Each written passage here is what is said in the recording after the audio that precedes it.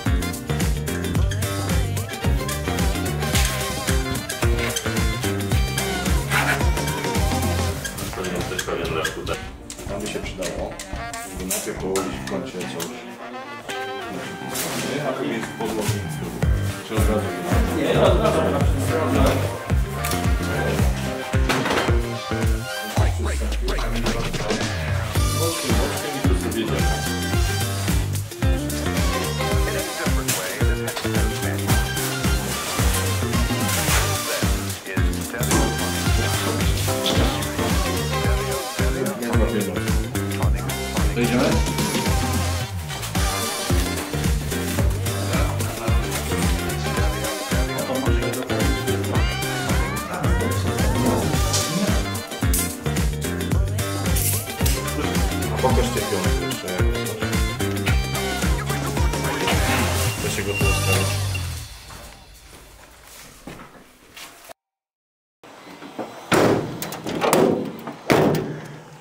Dzisiaj jesteśmy na realizacji e, w Zbrzy. Reprezentujemy firmę Szkłotech. E, Zadanie było wklejenie trzech luster wielkoformatowych z dużymi skosami. Na początku e, mierzyliśmy się z problemem z wejściem, z lustrami, duże formaty, trochę problemów, no ale nie ma robót, których nie zrobimy, więc polecamy się. A tutaj zaraz nasz prowadzący Zygmunt opowie o platformie, ale co to jest i do czego służy, to posłuchajmy fachowców. Platforma Woodlove 2 jest kapitalnym miejscem i to zarówno dla profesjonalistów, projektantów, wykonawców, ale przede wszystkim dla tych, którzy chcą coś zmienić w swoim budynku, w swoim domu, w swoim mieszkaniu, e, urządzić od początku albo zrobić remont. W tym miejscu spotykają się właśnie ci, którzy chcieliby coś zmienić, z tymi, e, którzy doskonale się na tym znają. Rejestrując się, znajdujemy najpierw projektanta. Nie, nie, nie. Najpierw się inspirujemy, bo tam jest mnóstwo inspiracji. Jeśli nie mamy żadnego pomysłu, to na pewno coś znajdziemy.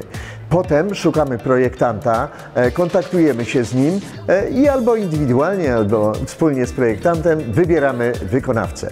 Wszystko w jednym miejscu. Platforma Woodlove tu. Zapamiętajcie, naprawdę warto. W tym pokoju wykonaliśmy szereg prac związanych z instalacją elektryczną, e, z naszym elektrykiem. Wspólnie żeśmy rozmieścili odpowiednio wszystkie przewody do całej instalacji, do nagłośnienia, do podłączenia telewizora, który będzie się wysuwał z tego otworu. E, Jak się znudzi dziecku, to będzie sobie mogło z pilota zamknąć e, telewizor. E, No i ogólnie rzecz biorąc, e, w tym pomieszczeniu fajną jeszcze rzeczą, którą e, moglibyśmy też pokazać, są parapety. Niby zwykła rzecz, ale nasze parapety nie wystają tak jak e, mm, w większości domach. E, One są wyszlifowane pod kątem, wpuszczone pod okno, centralnie ładnie wyszpachlowane, wyrównane. My tego nie widzimy. Na to pójdzie warstwa farby jeszcze tutaj na te ściany. No, no będzie pięknie. A teraz nasz partner w postaci Andrzeja, szefa Top Sanit. Jesteśmy w strefie remontu. E, Jeszcze tutaj się wiele dzieje. Możemy sobie zobaczyć natomiast produkty, które już tutaj dostarczyliśmy. E, Wszystko, co pokazuję, możecie również zobaczyć na naszej stronie, czyli www.topsanit.pl. E, Na razie patrzymy na to wszystko w wersji roboczej, ale e, nie, już niebawem e, zobaczymy też e, to w wersji sfinalizowanej. Na co pierwsze zwrócimy uwagę, piękna umywalka wolno stojąca, piękny monolit. To będzie się prezentować wyjątkowo w tej łazience i przyznam, że efektu nie mogę się doczekać. Mamy już zamontowane podtynki. Podtynki są marki Laveo. Będziemy mieli tutaj kolekcję Quadrato, czyli baterie, armatury o mocno geometrycznych kształtach. E, Co tu jeszcze, na co jeszcze tutaj warto zwrócić uwagę, a już dotarło. E, Dotarł też odpływ liniowy.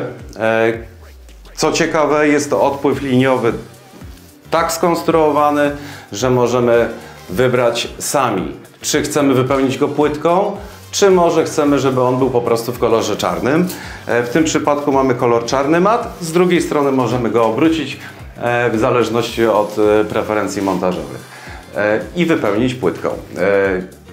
Co tu dotarło? Grzejnik Zender Quaro. E, topowy producent grzejników łazienkowych i nie tylko. Pięknych też grzejników dekoracyjnych, pokojowych. E, kolor Black Quartz, czyli kolor czarny z drobinkami delikatnie mieniącymi się, także to też dodaje takiego e, ekstra efektu. E, stelaż podtynkowy oczywiście najlepszej marki stelaży podtynkowych, specjalizującej się w stelażach podtynkowych, czyli marki Geberit. Stelaż jest uniwersalny i będzie też pasował nam do toalety myjącej firmy Major Maker, e, która zostanie na nim zamontowana. Mamy tu też takie malutkie, magiczne pudełko, ale one wcale nie jest, e, mimo że jest malutkie, e, to e, znajdzie tutaj e, zastosowanie bardzo e, fajne i ciekawe. E, Czyli tak, mamy tutaj deszczownicę kwadratową z e, właśnie e, kolekcji Quadrato marki Laveo. Cieniutka, slimowana deszczownica e, z systemem antywapiennym. Mamy rączkę natryskową lekką, malutką, minimalistyczną, e, która też e, wykonana jest z takiego tworzywa, które łatwo się czyści, nie osadza się na niej kamień, także to też taka dodatkowa cecha. Wszystko oczywiście w kolorze czarny mat. A teraz kolejny partner, ale to partner od firan, zasłon i od żaluzji. Posłuchajmy Sebastiana.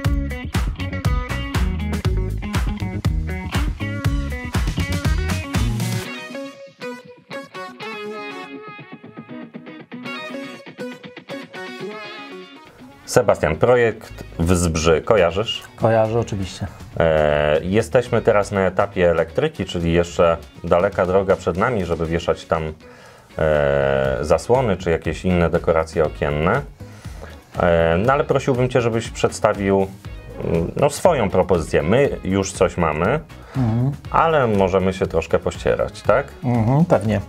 E, e, widziałem, że w projekcie są duże okna, duże pomieszczenie, mm, jeśli mówimy oczywiście o salonie. E, myślę, że dobrym rozwiązaniem byłyby tkaniny. One fajnie nadadzą ciepła temu pomieszczeniu i wygłuszą przy okazji, e, no, będą się fajnie sprawdzać w takich nowoczesnych wnętrzach, jakie mamy w tym projekcie. E, zastanawiałem się nad tym, bo wspomniałeś o elektryce, e, czy nie byłoby też dobrym rozwiązaniem, gdybyśmy przy okazji tych zasłon zastosowali na przykład sterowanie jakieś elektryczne, No tak? i, i tu Cię zaskoczę, bo już mamy wyprowadzone zasilanie pod szyny elektryczne. Faktycznie. Także jesteśmy gotowi do tego. Super, nie no świetnie. E, Jest to bardzo dobre rozwiązanie, zwłaszcza jeśli mamy duże okna. E, Jest to praktyczne, na pewno można w wiele sposobów e, obsługiwać takie zasłony. Na pewno jest to wygodne dla przyszłych użytkowników. Wracamy do naszej inwestycji 49 metrów pod Poznaniem. Tam w mieszkaniu musimy zainstalować jeszcze włączniki i gniazdka. Zobaczcie, jak to wszystko wygląda. Jest, jest, jest. Dobra.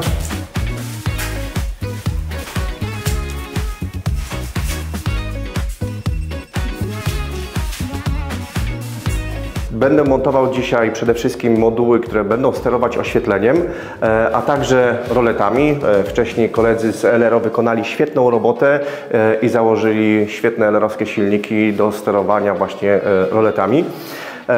Tutaj będę zakładał trzy włączniki do sterowania oświetleniem oraz mamy do sterowania dwoma roletami i będę je łączył z łącznikami, które się znajdują po drugiej stronie. Projektant dobrze zaprojektował, czyli z jednej strony tutaj, jak jestem z tej strony pomieszczenia, mogę włączyć i wyłączyć oświetlenie, z drugiej strony zrobić to samo.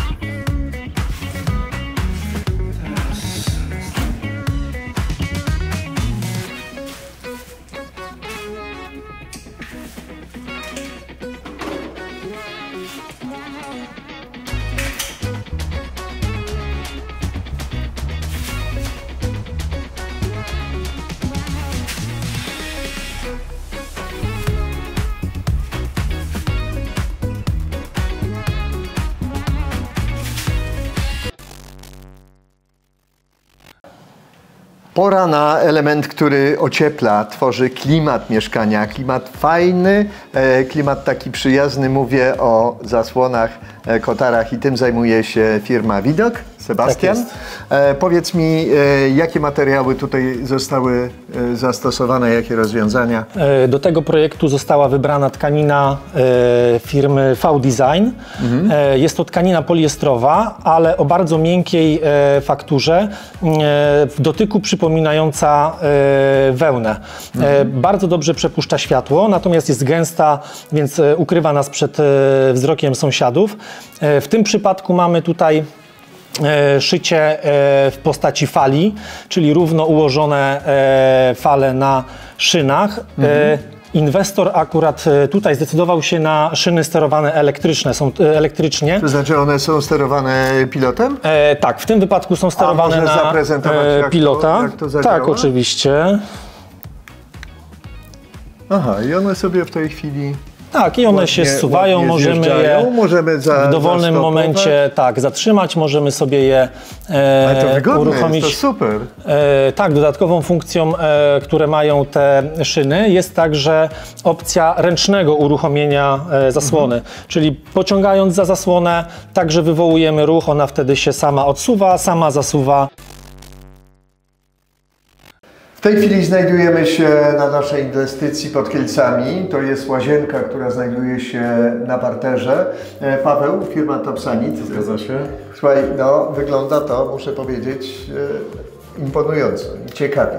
E, Jakie materiały, co tutaj zostało zas- zastosowane, opowiedz o tej łazience. Staraliśmy się dobrać produkty pod, pod typ inwestycji. E, Wszyscy widzimy, że nie jest to typowa łazienka, tylko są to pokoje kąpielowe, Tak. więc e, zdecydowanie standard musiał być wyższy. Zacznę może od grzejnika, bo on jest dość charakterystyczny. Tutaj- są- tutaj mamy- Tak, tak to, są, e, to są proste geometryczne formy.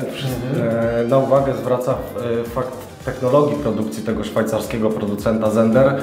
To są spawy robione laserowo, więc nie widzimy tych wszystkich takich niefajnych elementów.